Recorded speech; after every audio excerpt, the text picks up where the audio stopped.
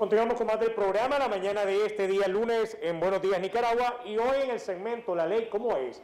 Vamos a hablar con nuestra estimada abogada Heisel Bojorge con un tema muy interesante, consejos legales para los emprendedores, muy importante para poder obviamente proteger su marca, su idea, el conocer el estatus que usted puede adquirir y cuáles son estos beneficios.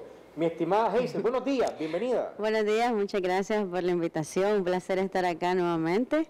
Y sí, como has mencionado, el tema del emprendimiento pues de suma importancia, como podemos ver en los últimos años en nuestro país, ha venido y ha retomado mucho empuje en la cultura del emprendimiento y pues ahora tenemos cualquier cantidad de, negocios que están catalogados como emprendimientos y que pues es importante, además de tener eh, el capital económico, además de tener la idea, pues también es importante conocer los consejos eh, jurídicos para poder eh, trabajar de una mejor manera, de una manera más organizada. Me encanta lo que estás mencionando porque muchas veces nos dejamos llevar solo porque tenemos el capital, tenemos la idea y ya, Aperturamos. Muchas gracias, muy amable. Bienvenidos a mi emprendimiento y ahí nos vamos. Pero cuando vamos de lleno en el asunto nos damos cuenta que requerimos de diferentes aspectos legales para poder comercializar. Exactamente. ¿Cómo nos tenemos que nosotros enfocar para poder darle esa parte legal a nuestro emprendimiento que nos proteja, pero que a la vez nos cree beneficios? Claro que sí. Una cosa muy importante es primero poder saber si vamos a emprender a título personal como persona natural o en grupo, que en este caso pues sería crear una sociedad anónima o una sociedad de por capital, en dependencia pues del tipo de necesidad que tengamos. En este caso pues ya es necesario pues asesorarse legalmente pues con un notario o un abogado. En segundo lugar, otro punto muy importante es también tomar en cuenta la originalidad y la distintividad del nombre comercial, así como del producto que se va a entregar, porque también tenemos que protegernos de no caer en conductas fraudulentas por confusión de marca o de producto, ¿verdad? Que es un, aspecto muy, muy importante. Otro aspecto a considerar también es que independientemente de la forma en cómo se emprenda, ya sea a título natural como persona natural o organizados como una sociedad, de igual manera debemos de realizar facturas para poder brindar productos, servicios o bien comercializar alguno de ellos, ¿verdad? Entonces, pues como primer requisito, vamos a dividir esto entre qué hacer cuando somos una persona natural y qué hacer cuando somos un grupo o una sociedad. Cuando somos una persona natural, pues perfectamente nosotros lo primero que tenemos que hacer es dirigirnos a la DGI, a la Dirección General de Ingresos, para poder inscribirnos como persona natural. Esto es súper sencillo, los requisitos son eh, básicos, es ser mayor de edad, presentarte con tu cédula de identidad y además demostrar el domicilio que uno tiene con un recibo de un servicio básico. Luego de eso se un formulario y esto se ingresa a la DGI. En este momento pues la DGI ya nos va a dar un número GRUC, tenemos el número GRUC y con esto pues ya podemos comenzar a trabajar con nuestro emprendimiento de manera legal porque esto también nos va a permitir poder tener facturas. Además de eso eh, es importante también mencionar que en estos casos cuando somos personas naturales eh, el tipo de de, impuestos que tenemos que pagar pues un poquito diferente, pues por servicios profesionales y equivale al 10% del IR. Aquí podemos hacer una salvedad, también podemos, de independencia del tipo de negocio y la, y la proyección que tenemos de ingresos, podemos optar por eh, eh, obtener el... 2%. ¿Perdón? El 2%. Sí, el 2%, exactamente. Inscribirnos para tener el 2%. Ahora, en el caso cuando ya son un grupo, ya es una, podemos crear una sociedad anónima perfectamente, esto se hace frente a notario. Ah, bueno, de, me olvidé mencionar que como persona natural también es importante eh, inscribirse en el registro mercantil, solo que como comerciante, como persona natural, no te, no te inscribís como sociedad. Y el caso de ser una sociedad, pues es crear la sociedad ante un notario público, luego con esta, eh, con, el, con el testamento inscribirnos en, la, en el registro mercantil y ya nos inscribimos como persona comercial, pero la sociedad anónima, de igual manera ahí se inscribe el poder de representación, porque necesitamos tener un representante legal eh, luego de eso, pues, todo es un grupo, cuando es una sociedad. Eh, también, pues, la inscripción en el INS se requiere, y ahí sí hay que hacer una inscripción en el INS, cuando sos un grupo, exactamente. Y además, la inscripción en la alcaldía de Managua. De las dos, grupo o individual. O individual, exactamente. el proceso es para como vos lo venís explicando, si usted de forma individual su emprendimiento, va a la DGI, la DGI llega a ver cuál es el local donde usted va a estar, sea su casa, sea otro lugar, lo, lo que usted tiene adquirido para ese emprendimiento, de ahí le sacan un valor y una tasa de la cantidad que usted va a pagar. Eso era antes, no sé ahora si hay un valor específico. Y ellos te dan tu número RUP, el cual vas a llevar una imprenta para que te den tu factura, tu factura Es correcto. poder, ahí donde explica que sos cuota fija, porque sos, eh, eh, pues, eh, no sos gran...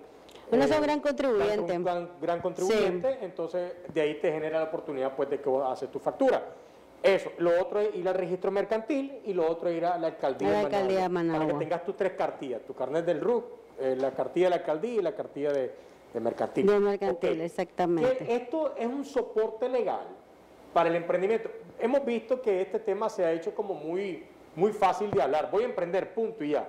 Sí. Pero después cuando queremos crecer y no dejamos una base, nos damos cuenta que venimos usurpando o agarramos una marca o un nombre que ya estaba inscrito y no lo podemos ocupar porque no indagamos un inicio. Exactamente. Entonces, es importante también patentar sea cual sea el nombre del emprendimiento, porque el costo es bajo para patentar. Sí, para registrar la marca también es igual, o sea, es un costo más, es un costo bajo, o sea, es, bastante, bastante simbólico, por decirlo así.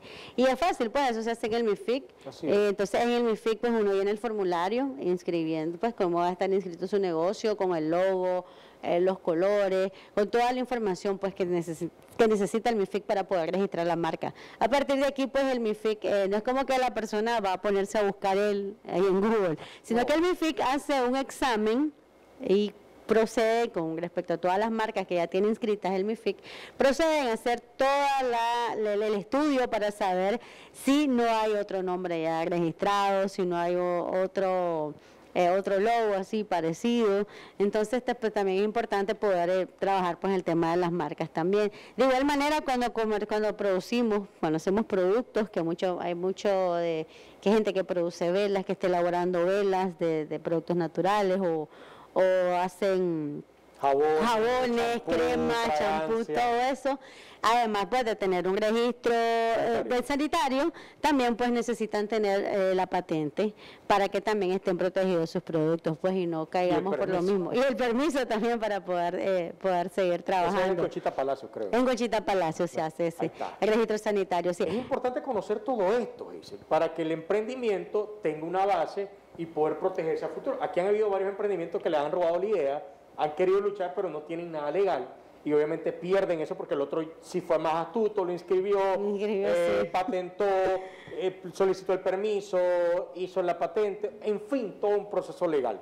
Cuando ya quieren, aunque la idea fue primero el otro, pero no tienen ningún soporte, que valide. obviamente recuperarlo. Sí. El emprendedor cuando hace esto, Hazel, inmediatamente él protege ese emprendimiento a cierto tiempo, le da seguridad y al y él como emprendedor también va creando de no solo que hacen en un pensamiento, sino hacer una gran empresa. Sí, va creando una estructura, una base sólida para a, futuro ir creciendo, pues, porque evidentemente cuando empezamos un negocio, tenemos una idea, lo que queremos es crecer económicamente también.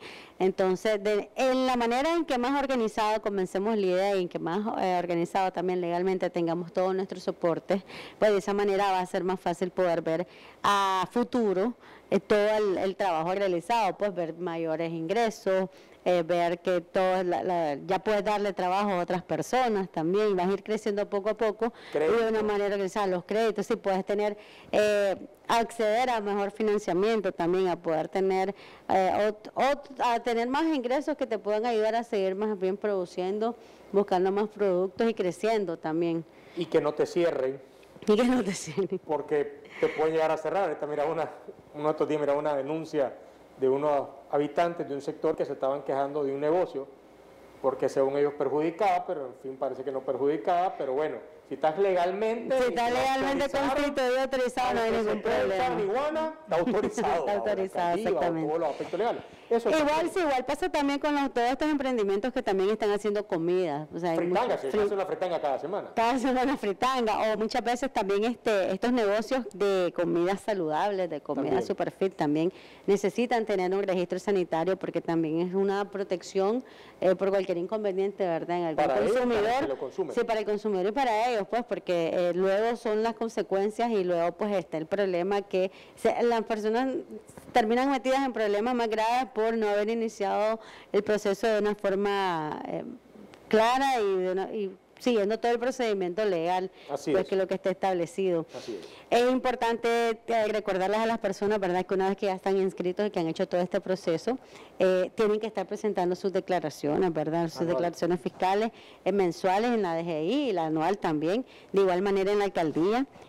también, bueno, la salvedad de que en la DGI pues se puede hacer en línea, entonces también hay como más facilidades para poder llevar, poder llevar el proceso más en orden. también recordemos que el tema de poder facturar, poder hacer todo esto, pues te permite dar una contabilidad y te permite poder tener una proyección, una planificación también a futuro más clara, sabiendo cuántos ingresos tenés, sabiendo qué, qué cantidad de ingresos, en qué, pues, en qué, en qué invertís el dinero, puedes poder pensar de qué manera poder mejorar eh, todo. O sea, él, entre más organizado se inicia un emprendimiento, al final mayores resultados va a tener la persona que emprende.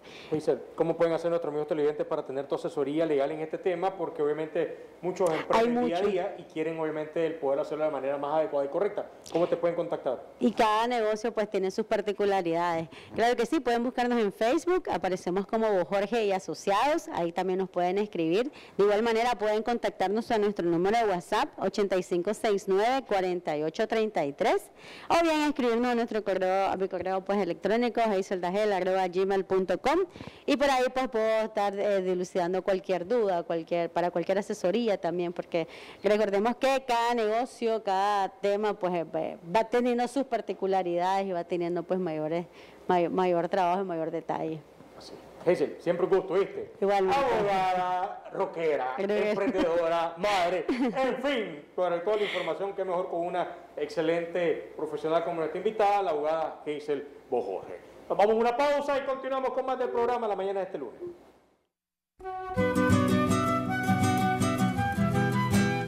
Reconocimientos, denuncias, quejas y sugerencias.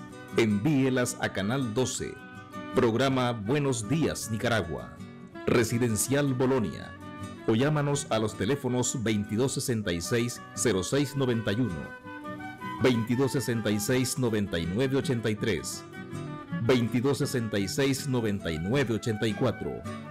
Escríbanos a nuestro correo electrónico canal12 arroba canal12.com.ni. Redes sociales, Facebook Noticias 12 Nicaragua, YouTube, Canal 12 Nicaragua, Twitter, arroba Canal 12 Nic. Visita nuestro sitio web www.canal12.com.ni.